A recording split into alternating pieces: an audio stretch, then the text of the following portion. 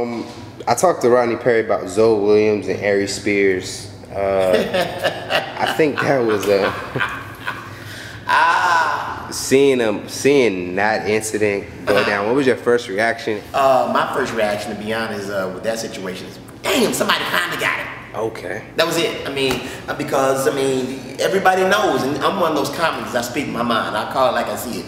You know, he had it coming, and he, he dodged a whole lot of them. But this one, you just couldn't dodge. You know, you, you I mean, it is what it is. You know, and if, if you live that type of lifestyle where you're disrespecting people and saying what you feel like you want to say to people, mm. you know, somebody's gonna react. So behind every action, there's a reaction, and he, he gave the action, and he got the reaction he was looking for. And mm. honestly, a lot of comics was really happy about it. I was. You know, I, I was. I, I pretty much turned into uh, one of those old ladies at a funeral. It should have been me, Lord. Should have been me. But it wasn't. So it is what it is.